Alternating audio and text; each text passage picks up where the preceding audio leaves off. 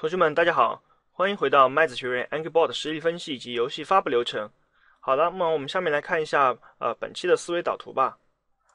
好，那么本期的话呢，将给大家讲解我们的就是呃多平台发布的第三节课，就是我们的发布到安卓平台。那么这个的话呢，也是现在呃用户数量最多的呃一个安卓平台，就是现在安卓手机其实它的用户数量是远远超过了苹果用户的数量的。好，那么首先在这里呢，我们在发布安卓之前呢，需要我们的同学们准备好相关的一个开发环境，就是我们的安卓的一个开发环境必须要准备好。如果没有这个安卓的平台开发环境的话呢，大家是没有办法从 Unity 里面发布啊 APK 的。那么首先就需要同学们下载和安装就是 Java 的 SDK 以及安卓的 SDK。当然，我这里会先把我使用的这两个 SDK 放到就是我的网网盘当中啊，供大家啊下载和使用。啊，在这个地方，到时候的话呢，我这地方是安卓是放好了的，然后啊有三个文件，就是包含了就是我们的安卓 SDK Eclipse 以以及 JDK 就是 Java SDK Eclipse 呢，就是我们的安卓的开发的一个就是一个工具嘛，我们叫做 IDE。好，然后然后呢，我这个地方的话呢，到时候大家拿来过后解压了过后呢，其实都是一个免压呃，就是免安装版本，就是大家拿来就直接可以用，只需要配置好环境就可以了。然后的话呢，啊，不知道大家看视频的时间是多久了？然后如果的话，你的安卓 S 呃安卓就版本有问题的话，就是在发布的时候提示你安卓版本有问题的时候，大家可以在这个安卓 SDK 里面点击这个 SDK Manager，然后的话呢，我们可以看一下运行起来了。然后的话呢，在这个地方啊，它可以看到你最新的就是版本是否正确，然后你在这个地方可以把最新的版本勾上。啊，比如这个地方假假设哈，四点零点三是 API 十五的话，你如果是啊没有安装的话，你想安这个，然后点一下，然后比如说这个是 delete，当然你还有就是可以安装一些新的一些包，我这地方因为都安装完了，所以就没有了。好，如果大家那个地方没有的话呢，可能就需要再安装一下，就最新的一个版本就 OK 了。好，这个就是讲讲了一下我基础的，就是这个盘里面，就是这个网盘，大家下入这个安卓环境这个压缩包里面啊，具体有哪些内容，但大家拿到过后要把这个啊。可能我到时候也也不一定会有中文这个环境两个字嘛，大家反正拿到过后，啊，最好不要有中文哈。啊，接下来的话呢，啊，就是要进行我们的 Java SDK 的一个环境配置了。那么没有这个的话呢，Java 就是不能进行嘛，不能进行正常的编译。好，那么当大家下载完了过后呢，还是在这个地方下载完了过后，我 不好意思，下载完了过后呢，这个地方有一个 JDK，就是我们的 Java 的 SDK，然后的话呢。我们首先在我们的呃呃桌面上右键我的电脑，当然我这地方也是隐藏了的，我们把它显示出来。好，然后我们我们在这个地方右键我的电脑啊，会弹出来一个属性，然后属性呢，我们这边点高级系统设置，然后点高级，这地方有一个环境变量，点一下环境变量，这个就到了我们进行一个需要配置的一个呃环境的地方了啊，就是我在思维导图里面也会详细的给大家呃写出这个具体的一个流程啊，怎么样来进行一个操作。如果大家看视频呢，也可以跟着视频操作，也可以跟着我的这个思维导图来操作，也是可以的。好，然后的话呢，我们就需要检查一下系统变量是否有 Java Home Pass 和 Class Pass 这呃这三个环境变量，没有的话呢，就大家要自己要在系统变量那一栏点击新建，然后新建这个三个变量。当然我这地方肯定是有了，因为我我很早之前就应该是配好了的。大家可以看一下，这个地方就是我的 Java Home。如果没有的话呢，大家点击一下新建。然后这个地方写 Java Home 就我把这个复制过来，然后的话呢，这个地方就是我们 Java Home 环境变量，然后它的一个变量的值呢，就是我们这个地方你比如新建了过后，变量的名是我们的这个 Java Home，然后变量值的话呢，就是我们的一个就是呃 JDK 的一个路径，我这个地方是安装到了 D 盘嘛，然后它的它的路径肯定就是在 D 盘啊安卓 JDK，如果你在其他位置的话，你就啊可以通过这种方式，比如说你找到。那这个 JDK 了过后，你点击这个就是我们的这个窗口的呃最上方点一下，这地方就会已经生成一个路径。比如我们点了 JDK，然后再点一下，这地方生成路径，你复制粘贴呃粘贴过去就可以了。啊，这个是我们的 Java Home，然后是我们的 Pass，Pass 环境变量呢，就设置的值呢，就是我们相当于就是我们把 Java Home 这个就相当于是我们的一个绝对路径，就是我们 JDK 的一个绝对路径，然后把我们的 bin 文件和呃这个给配置进去，就是我们的 Pass 里面把 bin 文件就是这一行。相当于把冰文件给它嘛配置进去，当然这个地方给大家说一下哈，就是我们在这个地方，比如说我们的 pass，我们找一下 pass，这个地方，啊，这个地方需要注意一下，就是我们的呃任何配置进去的时候，呃，你和前一行，比如说你要写新东西的时候，一定要先打一个分号，当然打一个英文的分号，然后再进行你的呃你的路径的一个相关的配置。啊，这样的话呢才能够区别开和识别到，这个一定要注意一下。好，这个是我们 pass，我们把 Java 我们把这个 Java Home bin 的文件给配置进去。然后是我们的环境变量，环境变量呢，我们需要把 Java Home lib 文件，就表示 lib 文件下的可执行文件给配置进去。在这个地方我们找一下，就是 class pass 这儿，这个地方是大写的，大家可以看一下，我这边是配进去了这个 Java Home lib to tools，嗯，然后前面肯定还有嘛，啊 Java Home lib 等等相关的东西，就相当于我把你把这个 lib 配进去，也就是表示啊可执行文件的东西也配置进去了啊就 OK 了。然后配置好了过后呢？你就点确定嘛，反正那么多个确定，点完了过后，那怎么查看我们是否配置正确了呢？那我们就进入到 DOS 窗命令窗口界面。好，我们在这地方进入到这个就是 DOS 命令窗口，然后我们输入啊 CMD，然后进到 DOS。好，这个就是我们的 DOS 一个啊命令窗口了。然后如果我们的 Java 啊是配置完成了的话呢，我们在这个地方输一下。当然啊，这个地方转成英文的 Java 杠 version，这就是呃得到我们的一个。一个操作命令就是，嗯，呃，相当于打印出来我们当前的啊 JDK 的一个版本。我们运行一下，大家可以看一下，这个运行是成功了的。然后我们的版本也是 Java Version 一点七点零杠啊零二这个版本。那么打印出了这个版本呢，也是表就表示你的配置成功了。那么我们还可以打印一个 Java 的编译的，就 Java C，大家可以看一下，它还有相关的一些其他的命令，就是我们的一个 Java C 就是编译的相关的一些。东西这个也弹出来的话呢，就表示我们的确实这个 Java 环境是配置 OK 了的。好，这个就是我们整个 Java 的环境的一个配置，这个是我们进行的呃第一步，就是发布到安卓的第一步。那么第二步的话呢，就是我们的安卓 SDK 的安装与项目发布。那么我们安卓的 SDK 安装呢，和 Java 的呃类似，也是解压过后呢，大家可就可以看到了，就是我们的安卓 SDK 的一个呃一个就是啊一个路径了。然后同样，我们还是在这个里面要需要新建一个安卓的这个地方，大家可以看一下，就是我们安卓的 SDK 的一个 Home，这个就是我们安卓 SDK Home。大家填的那个值呢，肯定也和我这个是一样的。然后填完了过后，点击确定。好，然后找到刚才的一个 Pass 变量值，因为我们之前做了过了 Java 的，那么所以 Pass 肯定是必然有的。那么然后我们添加上啊安卓 SDK 的 Platform Tools 以及安卓啊 SDK Home 的一个 Tools，在这个地方我们找一下 Pass。好，我们找一下 pass 的位置啊，哎，在哪里？好，在这个地方，我们要把对应的安卓的 SDK Tools 以及 Platform Tools 给它添加上去，然后点击确定。好，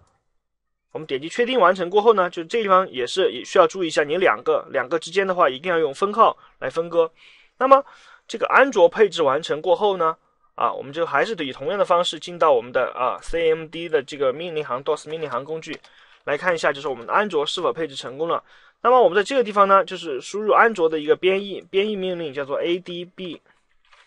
好，我们输入一下，看一下，大家可以看到，就这方打印了很多的内容啊。只要打印了这个内容，大家可以看一下，就是安卓 debug bridge version 一点零点三一，那么就表示我们的安卓的编译环境也是啊，也是 OK 了，也是配置成功了的。好。这样的话呢，就表示我们整个啊 JDK 的环境和以及安卓的环境呢，就配置完成了，也配置成功了啊！希望大家呢啊下载完了相关的呃文件过后呢，对应的把这个环境一定要配置好。当然，这个环境过程中可能配置有可能你的路径写错了，或者你的路径配置错了等等，反正这个啊需要一步一步的来。如果错了的话呢，大家就啊尽量回到上一步，然后继续再进行好。接下来的话呢，啊，就可以进到我们的工程里面进行我们的安卓工程的一个发布了。然后，首先我们还是打开我们之前的一个 AngryBot，以这个来作为我们的一个啊发布的一个案例。那么大家可能还呃，有的同学可能知道，有的同学不知道。那么安卓发布出来的话呢，它不是一个 exe 文件，它是一个点 apk 文件，就是一个啊安卓的一个可执行文件。好，那么在这之前呢，首先我们需要把我们安装好的那个安卓给配置到 Unity 里面来。我们点击 Edit，然后呢点击 Preference，那么 Preference 呢这儿有一个外部工具，就是 External Tools，然后最下方有一个就是我们安卓 SDK 的一个 Location。那么你在发布安卓的时候呢，你必须要把这个安卓的啊 SDK 这个路径给它指指进来，就这个地方你必须要找到这个路径给它指进来，然后选择文件夹啊。当然这个地方因为我已经找到了这个路径了，我就暂时不不用管它了。好，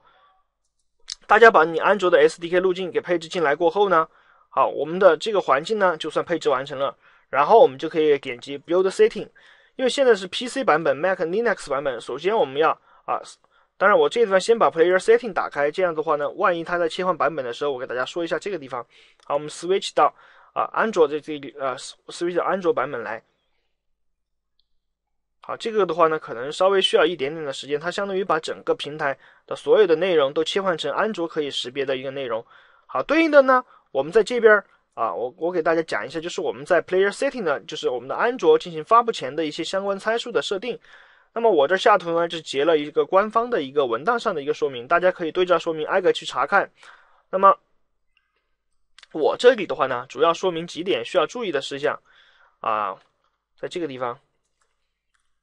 但这地方还在发布，就是我们呃，待会儿进去的时候也可以看一下。首先呢，我们还可以选择，就是我们发布出来的啊，到底是横屏还是竖屏？就是我们的，比如说我们的手机，因为有竖屏、横屏嘛，你的游戏是横屏、竖屏的。首先，继续要进行一个设置啊，然后这个 use 三十二位和呃呃二十四位呢，这个就是我们的啊，相当于就是三十二位显示器。这些我们经常一般的话呢，就使用默认的。然后 icon 呢也是一样，icon 的话呢，就是我们的游戏的一个 logo 图标。然后这个地方就需要设置。那么 override for 安卓呢，就是想为安卓项目自定义图标就勾选。那么这个一般的话呢，我们一般也把它勾选上。那 splash image 就是我们的一个启动画面。那么大家都知道，一般我们游戏启动的时候会显示一个公司的 logo 啊什么的，然后就可以用作 splash image。当然这个地方如果你不填的话呢，它会显示一个 Unity 的一个就是 logo。当然如果你是付费版本的话呢，这个地方啊你可以选啊勾选成一个黑色或者其他的什么，就可以把 Unity 的啊 logo 给干掉。那么 Mobile Splash Screen 呢，就指定一个安卓启动动画的纹理。那么标准尺寸动画呢是三百二乘以四百八的。那其他的呢，这些一般我们都暂时没有进行设置。然后这个地方有一个 Bundle Identifier，就是我们啊需要填写的，就是我们的公式，这个很重要啊。就是啊我们的安卓的话，必须要填一个自己的，就是点 com，点公司网站名称、产品名称等等，你不能使用它的默认的那个名字。如果使用默认的名字的话呢，啊会导致你发布的时候发布不出来。然后，当然这还有就是 bound version，然后就是我们的当前发布的一个啊版本号码，包括迭代的版本号码啊，bound bundle version code 就是我们内部版本号，就用于确定一个版本是否是最新的版本等等。这些其实就是一些 txt 的东西，帮助我们啊来识别就是当前版本号的。然后的话呢，我们再往下，呃，一般的话呢，下面的呃，我们都基本上使用默默认的一个就是设置嘛。然后这儿有一个 Internet Access，就是我们 Internet 网访问。如果设置为 Require，就是启动网络权限；如果设为 False 呢，它就自动开启，就是网络权限。那 Wire Write Access 呢，就是如果选择 Internet Only 的话呢，就只能写入到内部的存储器；选择 External 的话呢，就是我们可以把游戏呢写到 SD 卡里面等等。然后这些后面的话呢，我们基本上啊用的地方也比较少，当然也会根据大家就自己发布游戏的时候。嗯，一个特殊的情况嘛，进行一个设置。如果有需要的话呢，大家可以再来这个地方啊，可以详细来看一下文档，就是 就是你的需求的话，如果需要啊制作这些内容的话呢，再来具体的对应一下就 OK 了。然后我们设置完毕过后呢，我们可以看一下啊，这个地方已经完成了。我们可以看一下啊，是否有报错信息啊等等啊，比如说这报错，我们可以看一下，可以清理掉的话呢，那我们就暂时不管它。好。这边我们还是就是，当然这个一样一样的，刚才也给大家讲了嘛，就这几个我们已经到了这个地方，然后唯一的就是我们的 publish setting，就是我们啊这个地方我看一下刚才讲的那个在哪儿，就是需要我们去填写的，如果不填写的话呢，当然会报错嘛。啊，这个地方就如果你就是 bundle identifier，就这个地方如果你不填的话呢，啊它会啊发布不出来，会提示你发布不出来。那么我们这个地方就填写一个，一般填写一个自己啊自己可以认识的名字，比如说就这样。Angry, what？好，这样的话呢，肯定就没有问题了。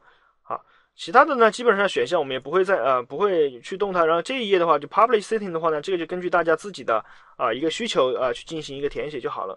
然后这个地方呢有一个 icon，就是我们的啊我们的发布出来的一个 logo。然后这个地方呢选择横屏还是竖屏，我们这边选择横屏。好，然后这地方就是我们的 Company Name，然后还有 Product Name。那所有所有的这些完成过后呢，还有就是注意一下，就 sense in build 这个地方你要注意一下，你到底有多少个 sense。如果有呃多个 sense 的话，你一定要全部都添加进来完成。添加进来完了过后呢，啊再点 build，我们可以看一下，我们 build 一下。我们把它呃 build 到啊这个地方吧，我们就是我们的 apk 啊 build。好，然后我们进来里面，然后就是我们的 AngryBot。啊，当然我不知道这个地方我呃能不能发布成功啊？我们稍等一下，看一下就是它呃应该这个场景 build 的很快啊，一个 APK 嘛应该很快，应该也不大。然后因为就它内容确实不算多，只有一个场景，然后有一些呃东西在里面不算多。好，在它 build 的同时的话呢。啊，大家也可以看一下，就是它这边啊动的还是比较快，但是有时候大家 build 的时候，有可能提示你安卓的版本不对，有的时候提醒你某个文件夹没有找到，你需要对应的再去找一下啊相应的一个文件夹，有可能你刚才那个名字没有填，当然 build 的时候会出现各种各样的问题，有可能，当然都去你大家可以根据报错的一个信息，第一可以在我的视频下方留言，还有一个呢啊可以问我们最和蔼可亲的。百度度娘嘛，然后你可以查一下具体就是发布啊，这个发布出来的这个为什么没有发布成功？好，那么我们的这个 Angry Bot 呢就啊发布成功了，然后它会生成一个这个有一个小机器人，就是我们的安卓机器人的这个一个 Angry Bot。当然，如果你手机是连到了就是这个啊。